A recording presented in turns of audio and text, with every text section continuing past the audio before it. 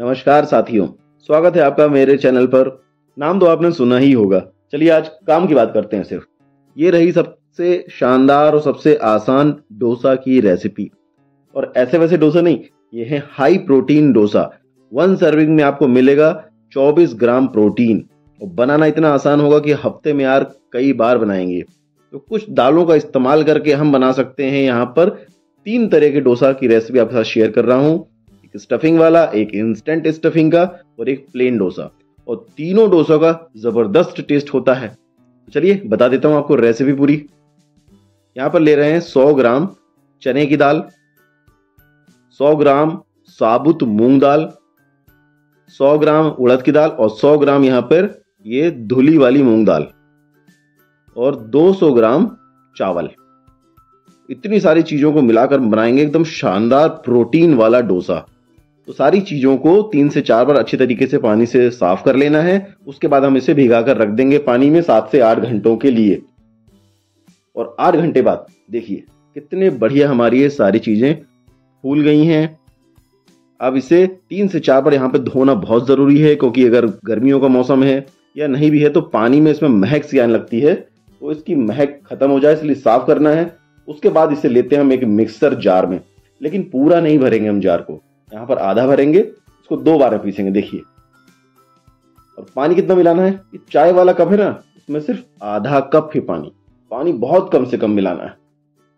और कुछ इस तरीके का एक पेस्ट तैयार करना है, बिल्कुल। ये। बिल्कुल एकदम गाढ़ा सा पेस्ट।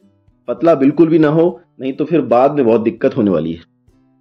तो देखिए, दो बार में हम इसको यहाँ पर पीसेंगे, ताकि ये आसानी से पिस जाए, बराबर पिसे। कोई भी दाने इसमें रह ना जाए छोटे बड़े नहीं तो डोसा फिर अच्छा बनेगा नहीं ना? तो देखिए कितना गाढ़ा पेस्ट है। ज़रूरत पड़ेगी तो हम बाद में पानी मिला सकते हैं। लेकिन पहले जितनी भी कोशिश करें मतलब तो गाढ़ा ही रखें तो बेहतर होगा।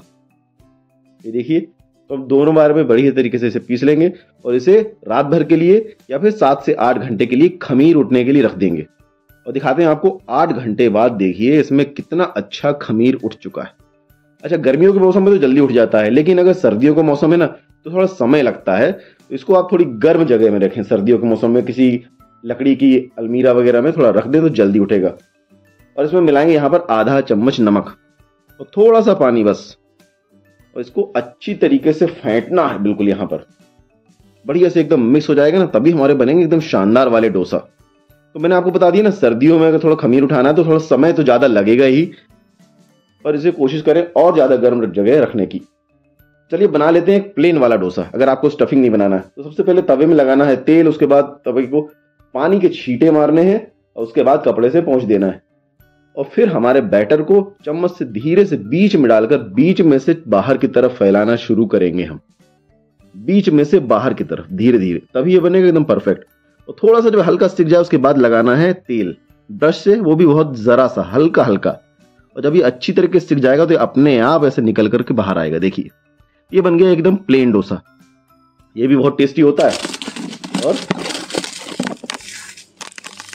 आवाज़ सुनी ना आपने? इतना करारा। तो ये हो गया एक प्लेन डोसा।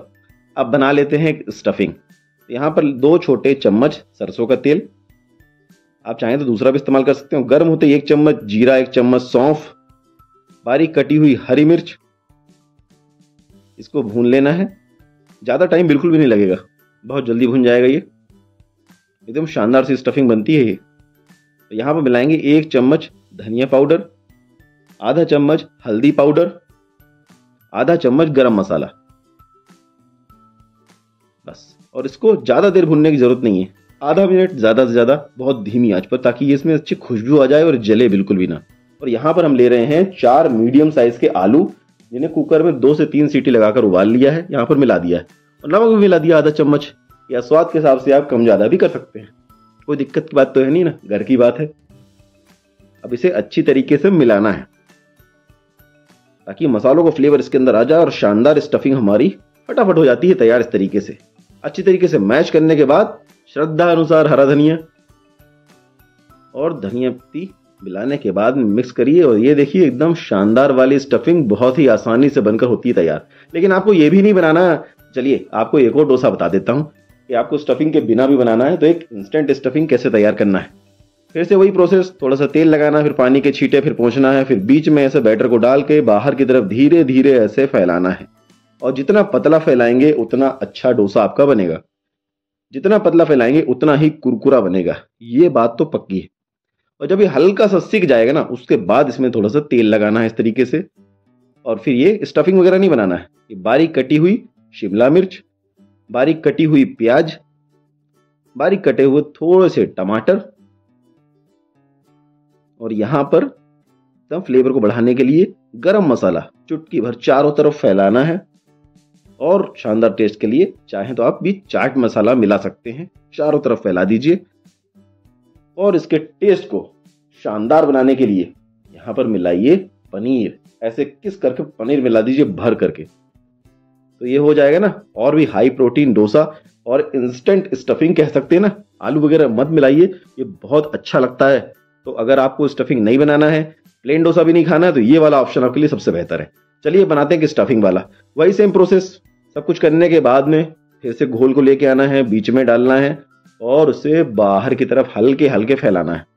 और आँच बिल्कुल धीमी होनी चाहिए। अगर आँच गर्म होगी ना, बिल्कुल तेज होगी तो बीच में से एकदम ये बहुत जल्दी पकड़ ले लेगा और फैलेगा नहीं। फिर वही प्रोसेस पकने के बाद थोड़ा तेल लगाएँगे, फिर बीच में लेंगे स्टफिंग और स्टफिंग को चारों तरफ़ फैलाइए तो बाज़ार वाले से ज़्यादा अच्छा बनेगा। ये देखिए। अगर आप सांभर की रेसिपी देखना चाहते हैं ना तो मेरे चैनल पर जाके आप देख सकते हैं, सांभर की एकदम शानदार पाँच मिनट के अंदर बनने वाला सांभर की रेसिपी मैंने डाली हुई है और डिस्क्रिप्शन में आपको लिंक भी मिल जाएगा जिसपे आप क्लिक करके देख सकते हैं कि घर पे पाँच मिनट के अंदर सांभर कैसे बनाए। और ये देखिए स्टफिंग वाला डोसा। तो तीनों डोसा में कोई वो तो है नहीं। सबसे बेहतर तो यही वाला लगता है। ये आपके ऊपर है कि आपको तीनों में से कौन सा बनाना है। लेकिन और भी ढेर सारी रेसिपीज़ देखने के लिए आपको एक छोटा सा काम ज़रूर करना है। चैनल पर नए हैं तो लाइक कमेंट और शेयर और सब्सक्राइब करके बेल आइकन को ऑल नोटिफिकेशन को ज़रूर अलाउ कर दीजिए, ताकि मेरे वीडियो अपलोड करते ही आपके पास मेरी सारी रेसिपीज़ पहुँचे। और चैनल पे पुराने हैं तो मेरे को मोटिवेट करने के लिए ज़रूर कुछ ना कुछ कमेंट करें। तो मिलते हैं नेक्स्ट वीडियो में। तब तक के लिए बनाकर खाइए एंजॉय करिए। जय हिंद।